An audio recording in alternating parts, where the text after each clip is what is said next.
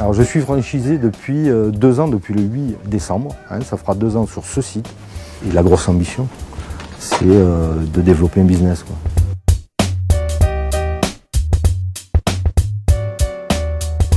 Dans le groupe ED, dans un premier temps, puis DIA hein, depuis un mois, c'est une longue histoire, hein, puisque euh, c'est une histoire de 16 ans. J'ai découvert un petit peu tous les postes, sur tous les aspects, exploitation puis management des équipes.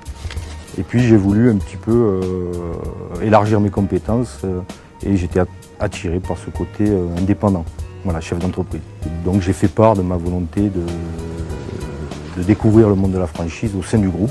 C'est vrai qu'en intégré, on a une notion de chiffre, on développe du chiffre, mais on n'a pas la notion de résultat financier.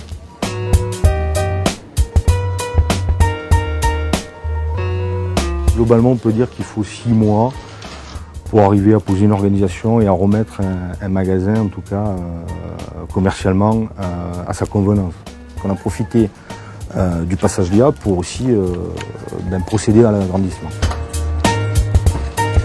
Avec mes salariés, il a fallu d'abord les former ou les reformer, leur apporter le- l'expérience aussi bien au niveau du suivi argent et, et de la conduite à avoir en journée, mais en termes marchandises, de déclencher chez eux un réflexe en bossant avec eux, en passant les commandes avec eux, en, en- en les accompagnant dans l'analyse des ruptures, dans l'analyse des ventes, en affichant les résultats aussi pour qu'ils se rendent compte de l'évolution du chiffre, de l'évolution de, de la satisfaction client. Ah. Lors de la première année d'exploitation, j'ai fait du plus 10. Euh, là, on est sur une deuxième année où on refait pratiquement du plus 10 avant passage d'A. Donc ça prouve qu'il y a eu cet effet moteur de ma part dans les actions que euh, j'ai pu mettre en place euh, en collaboration avec le chef de magasin pour, les valider aussi ensemble.